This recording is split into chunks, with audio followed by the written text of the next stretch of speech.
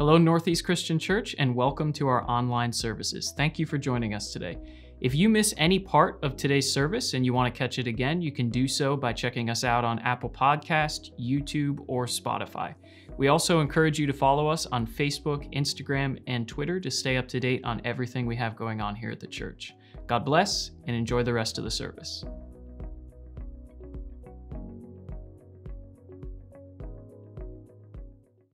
I, uh, I, I so look forward to uh, being with you guys. I'm in maybe 50 churches a year, and you've got the best worship. I mean, Mary Evelyn is just awesome with leading worship. Amen? just absolutely fantastic. And then, you know, I was thirsty. I didn't have any water. And uh, Jesus said, if you give someone a cup of water in my name, great is your reward in heaven. So I pray a big reward for John Reese, who actually went out to the gas station and bought me this, uh, this jug of uh, Poland Springs. Thank you, John. uh, it is a pleasure to be here. Uh, if you don't know, my name is Mike Caparelli. I do, I do travel the country, uh, speaking more specifically on the subject of mental health. I believe that the Church of Jesus Christ is a hospital for those that are sick. I also do work in the prison. Um, the last two years, if you're not familiar, I've conducted a 100 hour case study on a guy by the name of David Berkowitz, who at one time was probably the most hated man in America in the 1970s. He was known as the son of Sam. He had gunned down 13 people, stabbed one, lit 1,300 fires, and he held an entire city hostage in fear while the son of Sam was arrested in 1977 at 24 years old. He's been incarcerated for 46 years. And then in 1988, the son of Sam uh, became a son of God. And uh, I got the opportunity to see the transformation. Amen. You can give it up for that.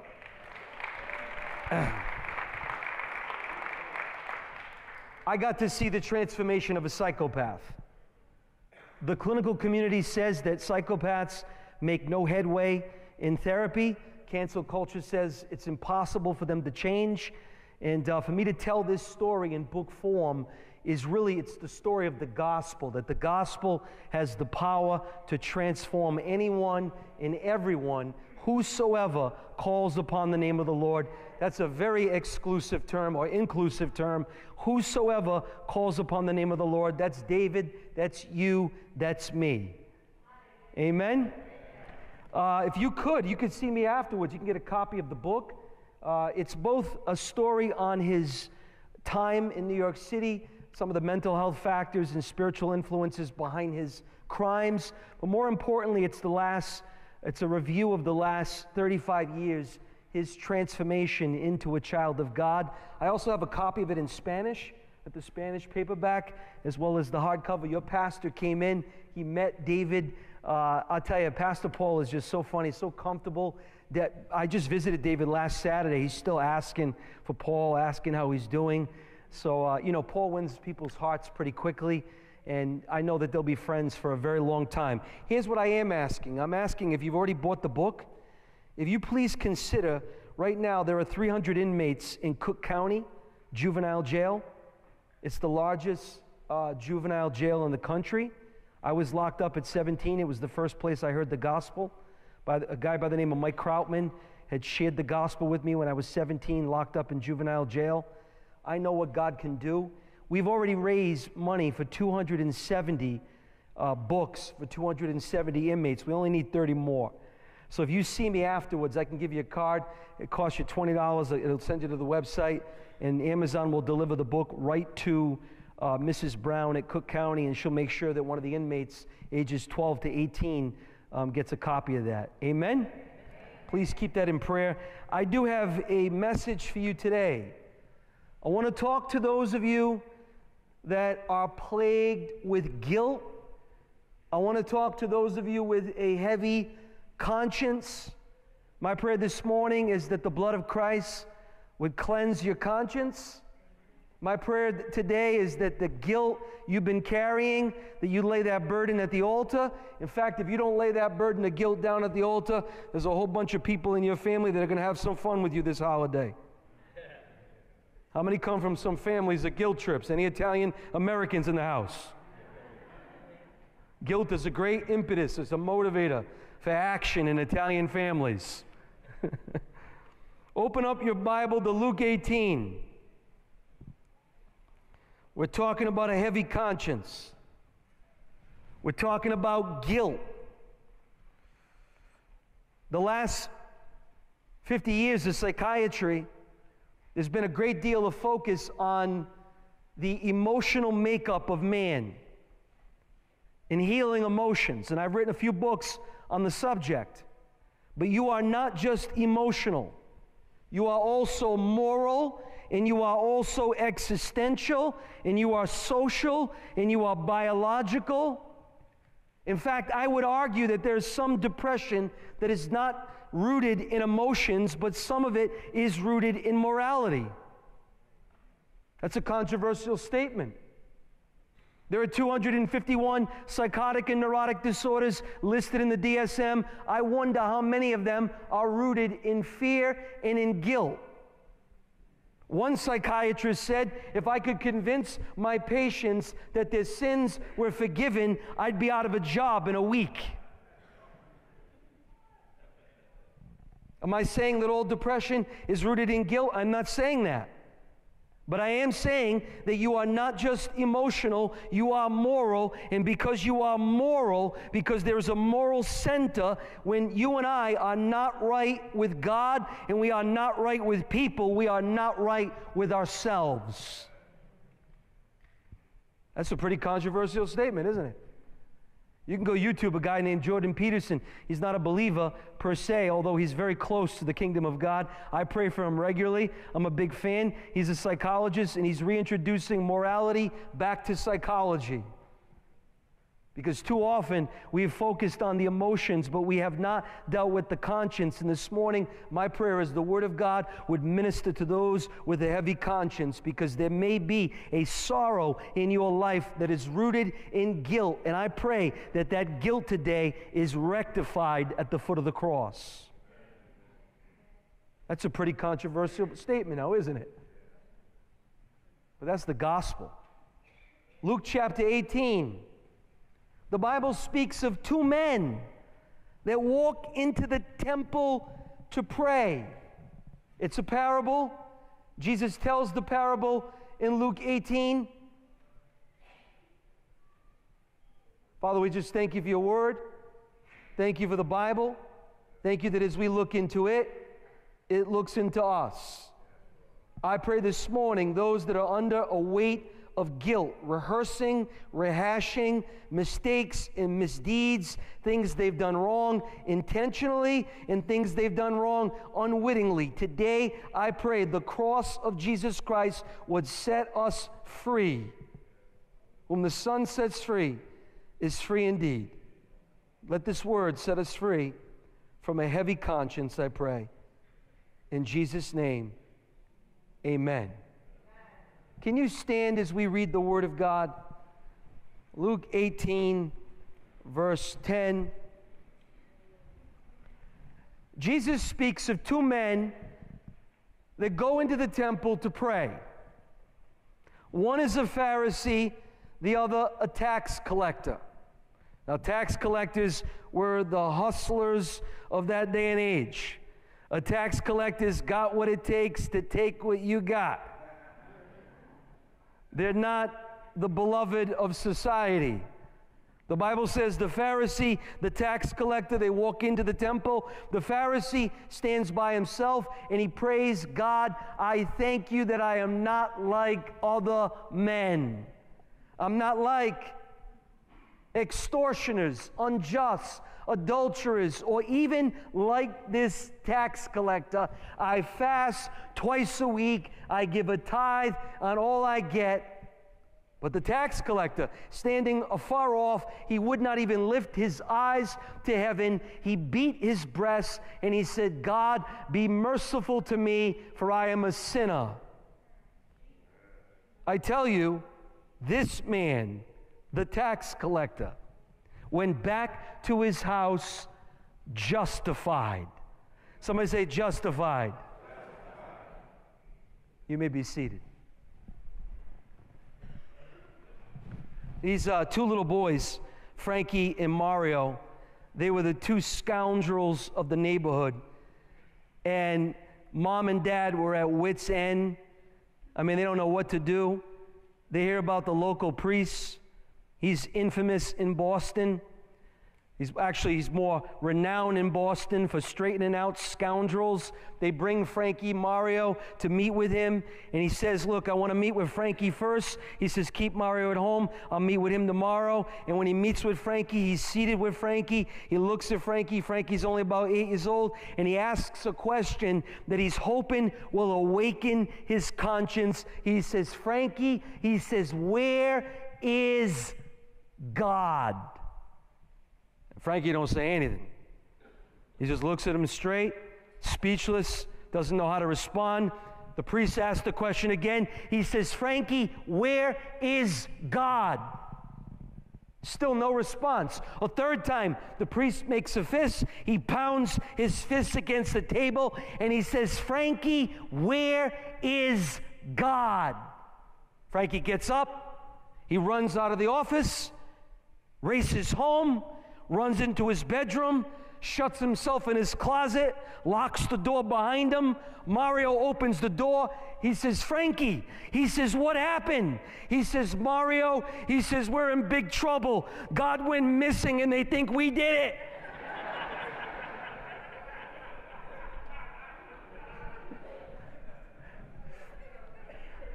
it. I, I want to talk about a heavy conscience. Now, Princeton University conducted a fascinating study about 20 years ago to show that a heavy conscience is more than a metaphor. They took two groups of people, a control group, experimental group, and they asked both groups a question. They asked the control group to recall an ethical decision they'd made in the last seven days, some act of charity, some gesture of generosity, and then they asked them to predict their body weight. They asked the experimental group a little bit different of a question. They asked them to recall an unethical decision, some immoral gesture, and then they asked them to predict their body weight. And when the results came in, the group that thought about the unethical decision had predicted their body weight to be substantially higher than their actual weight. Because the conscience can be very heavy. In fact, studies show that a heavy conscience, a conscience that is plagued with guilt, neurology shows that your GABA levels, levels go down. GABA is the chemical that helps you sleep at night. How many have lost some sleep because of a heavy conscience? Now, there's some of you saying, I must be a good person because I sleep very good at night. There are two reasons why people sleep good at night either a good conscience or a bad memory. So maybe you do sleep good, and maybe it's not because you got a good conscience, maybe because you got a bad memory. Either way, guilt is a weight it is a weight. Listen, that weight of guilt, it is not just a social construct, it's more than a dimension of the psyche. Romans 1 said the very finger of God that inscribed the Ten Commandments on the tablets of stone, that same finger, he inscribed his law on your conscience. So when you are dealing with guilt, you are dealing with God the efforts we go to to try to gag the guilt. And really, we're not just trying to gag the guilt, we're trying to gag God. We're not just putting a censor on our conscience, but we are putting duct tape on the very mouth of the Almighty because that conscience is a very portal. It is a conduit for the voice of God. And oftentimes, when we don't behave good, we don't feel good because the conscience accuses us and we do whatever we can to silence the voice of that prosecutor. How many know what I'm talking about? How many good at justifying? I had to teach my kids. I said, listen, when you apologize, don't rationalize. Just apologize. Don't write an apology letter and then put an addendum at the end of the letter. Just say, I'm sorry. Don't say, I'm sorry, I lace your meatballs with laxatives, which you get on my nerves. No addendums at the end of the apologies.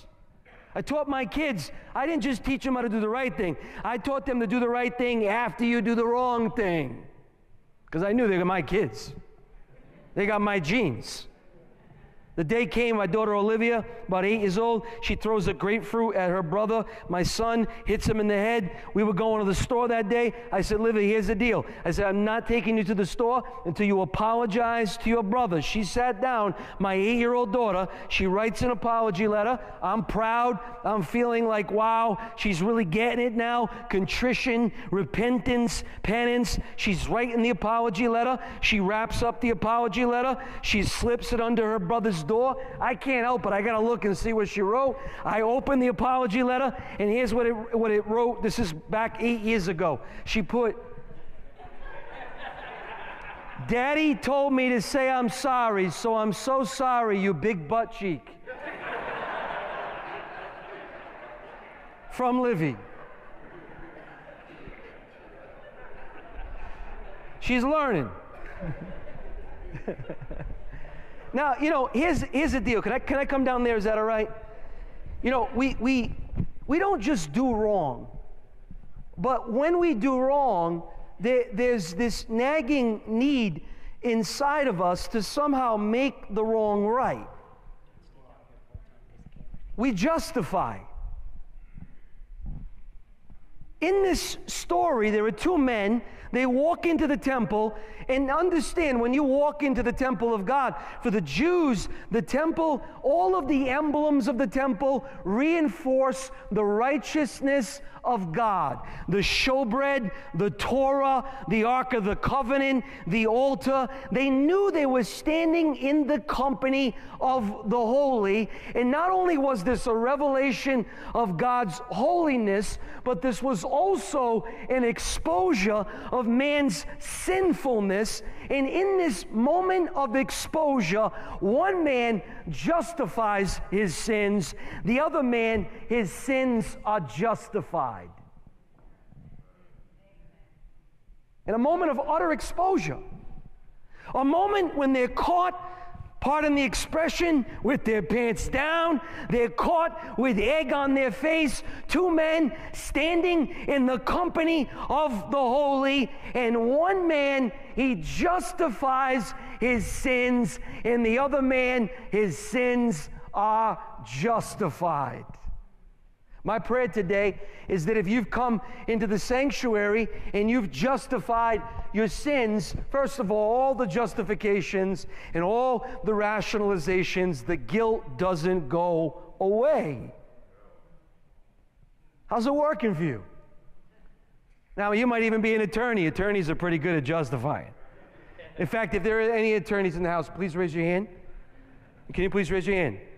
Because we, we want all those with some criminal backgrounds to pay attention to the attorneys. Because you need a good lawyer. You need a lawyer that knows how to justify. It's justify, never sinned, right? This guy, he's, he's dying. He's a wealthy man. He's got $3 million cash. He loves his wealth so much. He meets with his three friends. One of them is an attorney, by the way. Meets with his three friends. He says, Look, you know how much I love my money. He says, When I die, he says, When you bury me, I want to be buried with all 3 million cash. All right? He gives the cash to all three friends. Day after the funeral, all three friends meet for coffee. The first friend says, I feel so guilty. He says, I kept the million. The second friend says, I feel so stupid. I buried him with the million.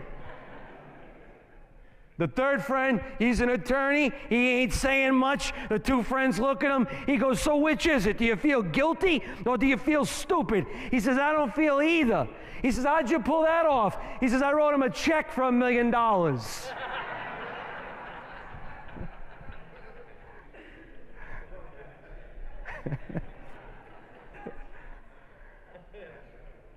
All the efforts we go to to justify. to somehow rationalize, to somehow make a wrong right.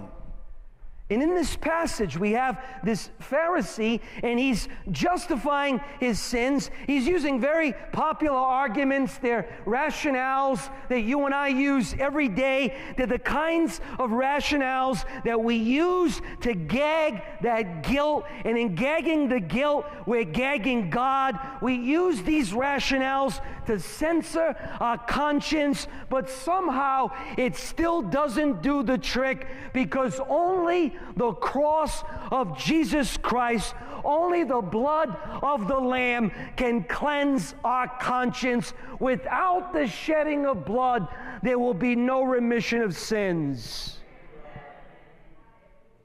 Now, listen, I preach a lot on mental health, but I don't know one sermon in the last few years that I haven't preached that has been this gospel centered. This is as Billy Graham as it gets this morning. This morning, if you're trying to justify or rationalize your sins, you are on the wrong path. There's the doctrine of justification, it's what Jesus did on the cross, and only He can make every wrong right. And when you receive Him, you don't just receive salvation salvation, but you receive liberation from all guilt and all shame. I don't think it's coincidence that the day I got saved was the day I got delivered from depression. Now, I still, to this very day, I still deal with that melancholy cloud. It's followed me probably since I was about nine or 10. I've got a mother that is just plagued with melancholy from the time I was a kid. I understand it, it runs deep in my family. But let me tell you, I may have that melancholy, but it, the melancholy does not have me. When I gave my life to Christ 28 years ago, He gave me a new name, and He gave me a new heart, and He gave me a new conscience, and the guilt the guilt, the weight of guilt came off my back that day and I was set free. I know how sick you can get from your secrets. I met with David Berkowitz 100 hours, and I knew from a PhD in behavioral science, working in the prison for a long time, I knew the man had something he wanted to tell me. I knew he had a secret. I won't tell you what that secret is, you can buy the book. But I, I knew he had something to get off his chest. I could tell by the defensiveness, I could tell by the neurosis surrounding certain subjects. And there's, there's a neurosis in your life. There may be a defensiveness. And underneath that defensiveness, underneath all those justifications, is a conscience that is yearning to be cleansed. And the Pharisee's solution for his sins is not the right solution. He justifies his sins through two popular arguments, two rationales that we still use to this very day. In a moment of exposure, he uses the rationale of compensation. I'll work off my bad sins by my good deeds. And he uses the rationale of competition. I'm not as bad as the next guy. Can I talk to you about those two issues? Because chances are, if you're on that track and you're justifying your sins, the guilt is not going away. It may work for a minute, but you wake up and the weight of guilt is still there. Psalm 35, David speaks, or Psalm 34, David speaks of the sickness of the soul when keeping a secret. A secret that you haven't told God, a secret that you haven't told your brother. My prayer today is that you come clean before God, come clean before the people of God, and leave with a clean conscience. Let's talk the justification of compensation. He says, I fast. I tithe. He says, Listen, I may have some vices, but my virtues offset my vices. I may have some depravity, but my morality, it cancels out my depravity. These good things I do, the good deeds are somehow weighing out, they're offsetting the bad deeds. He's expecting to work off. And there are people here, you've been trying to work it off. In fact, you may have some people in your family that pick up on that vibe and they've made a good slave out of you. How many know what I'm talking about? Compensate. There's only one problem with this logic. The Pharisee has obviously not read the prophet Isaiah.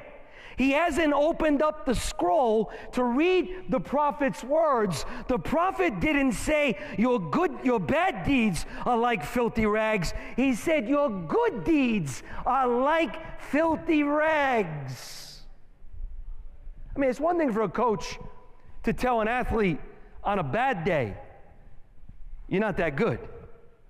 It's another thing for a coach to tell an athlete on his best day, God is telling you on your very best behavior that even your best behavior, according to the prophet Isaiah, your best behavior is filthy rags. That's pretty, that's pretty tough pill to swallow. Well, we're evaluating actions, but the Lord does not look at the outward appearance. The Lord sees the heart.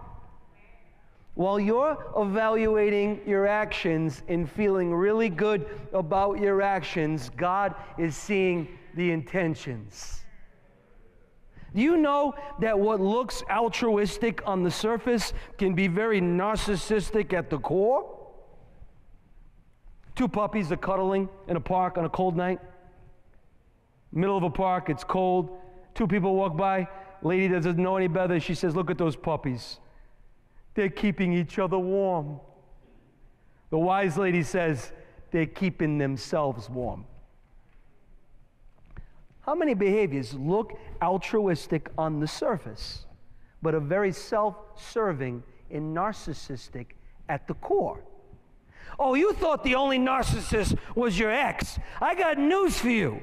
Every single one of us has a potential narcissist inside of us. I, I, I, can prove it. If I took a group photo right now, took a picture of every single one of us in this room, I show you the picture. Whose face do you go looking for first? huh? And if you don't look good, we're going to take the picture all over again and drop another 50 on the photographer because your hair is out of place.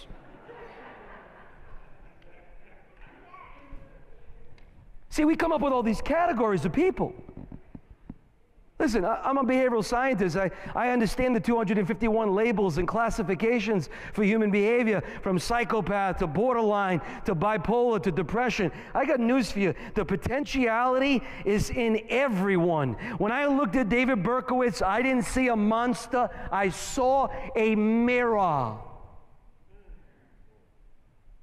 But yet, in our day and age of humanism, where we've been fooled into believing that we're good, when someone is bad, it's an anomaly.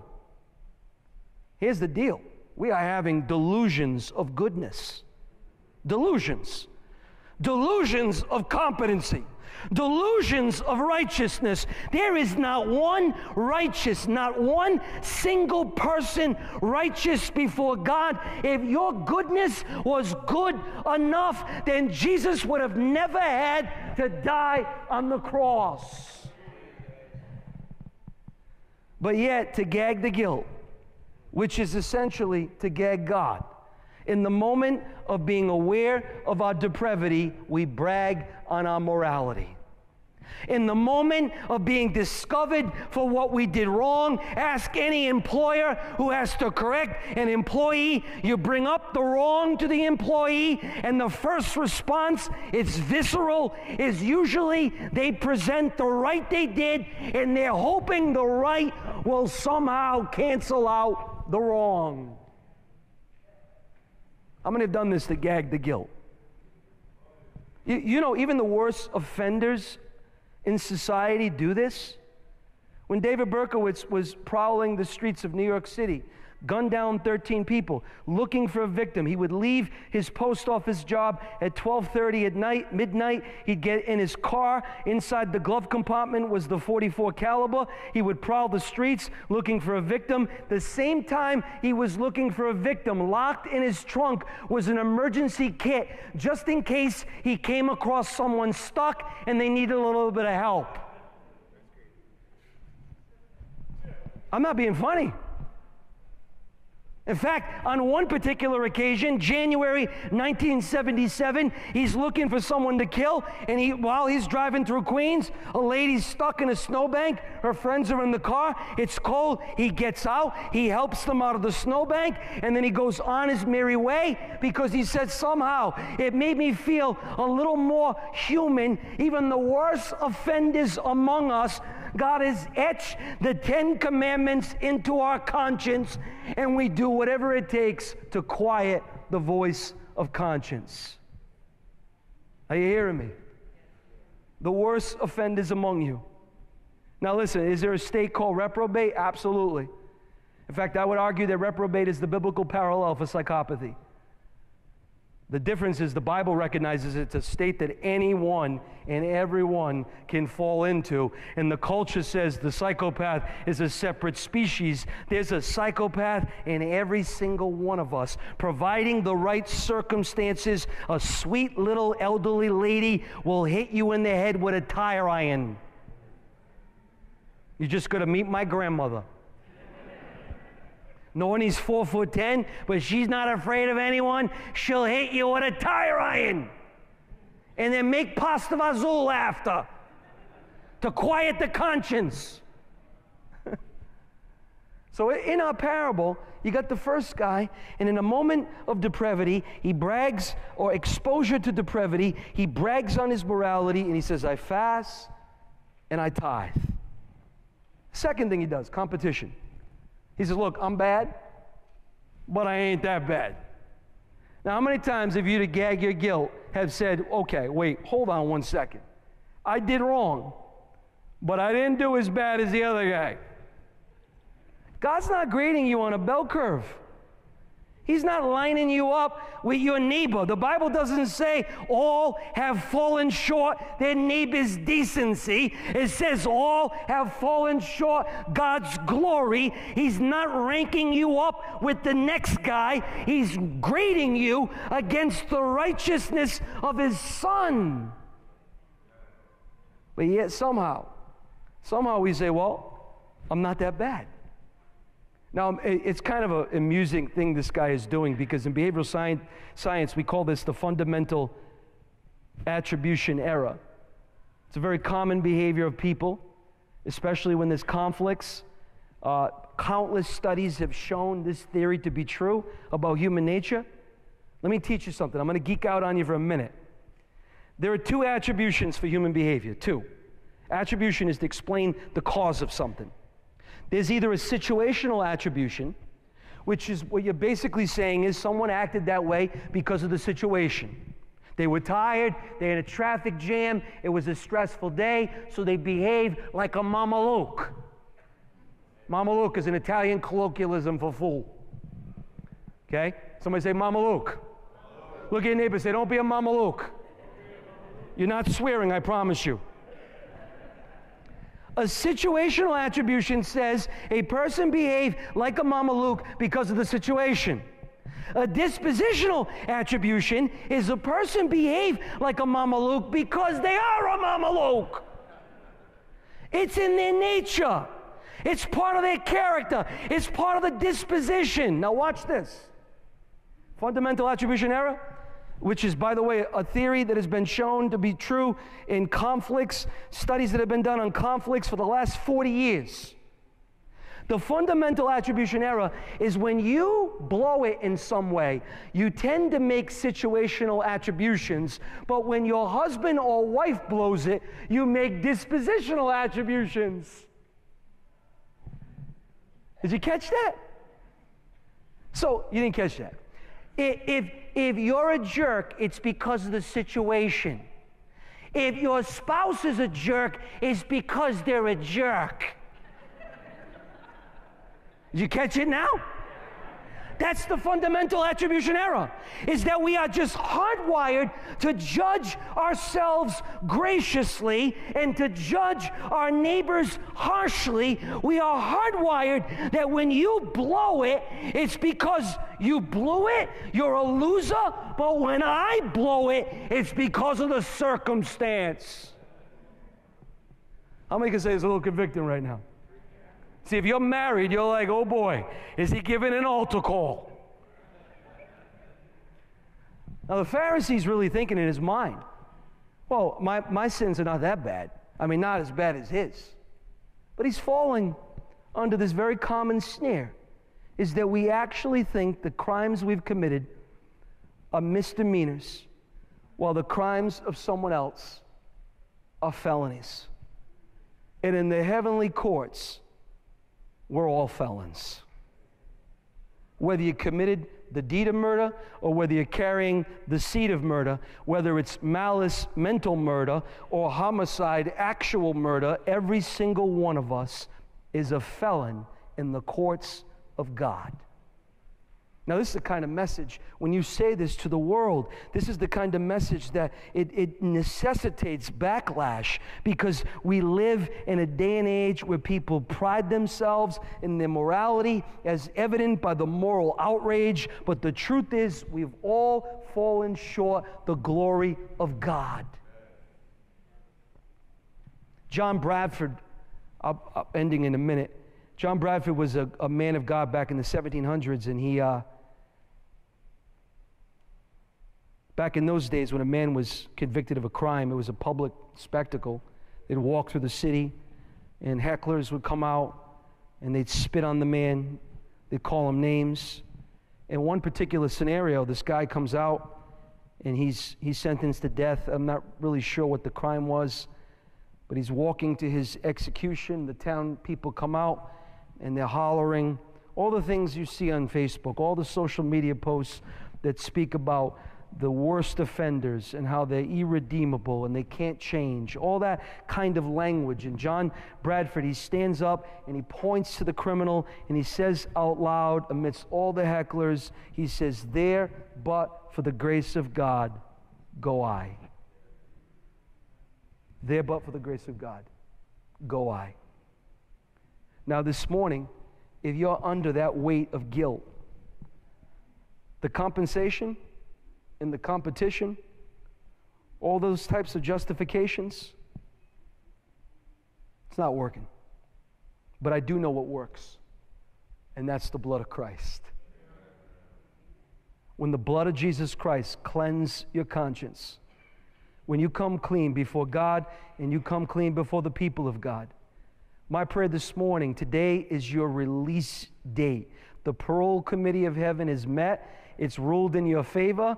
I pray today is your release date, release from guilt, release from depression, release from anxiety, release from the fear of doom and punishment. My prayer this morning is your conscience would become your friend. My prayer today is you come to the cross and you plead. Don't plead not guilty, plead, Lord, have mercy.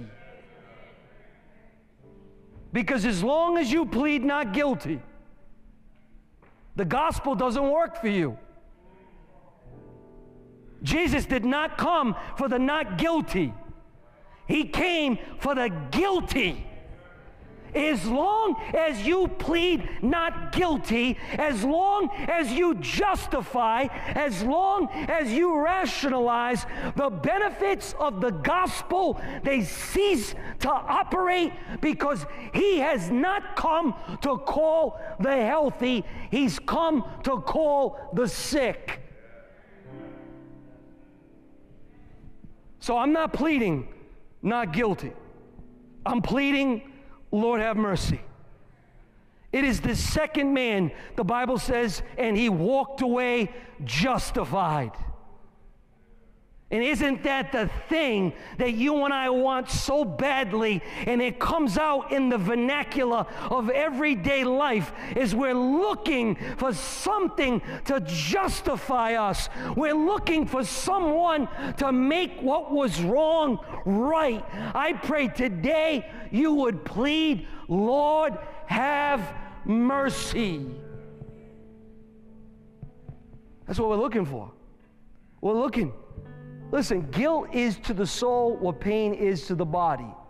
It says there's something wrong, and the wrong must be made right. The guilt is not a problem, not in the initial stage. Behavioral science shows that guilt in the beginning stages is actually very productive. It elevates cortisol, it elevates norepinephrine, which helps you focus very deeply on something. Now you got norepinephrine, you got cortisol in that initial stage. It's telling you, get it right, make it right. Something's wrong, you got to make it right. But if you don't make it right in that initial stage, the GABA levels drop. Now you can't sleep. Now the guilty conscience that was once there to help you, now it's going to hurt you. I want my conscience to accuse me when I'm doing wrong. Amen? I want my alarm clock to, to, to sound when I'm sleeping. I want the rooster to crow when I'm asleep. I believe Peter heard the rooster because I think Peter was in a moral slumber and the rooster was the ancient alarm clock. Judas never heard the rooster. Peter heard it. I pray this morning, morning that when you're wrong, your conscience would tell you you're wrong, but quickly you would repent and say, God, I'm not pleading not guilty. Lord, I'm pleading, Lord, have mercy. This is the insultingly simple gospel this morning. But its benefits are as sophisticated as it gets. Every emotional, psychological paralysis, I pray today it ends at the foot of the cross. Make us right with you. As Pastor Paul comes and leads us to the body and to the blood of Jesus Christ. Bless us today, we pray, Lord. Forgive us. In Jesus' name, amen. God bless you guys.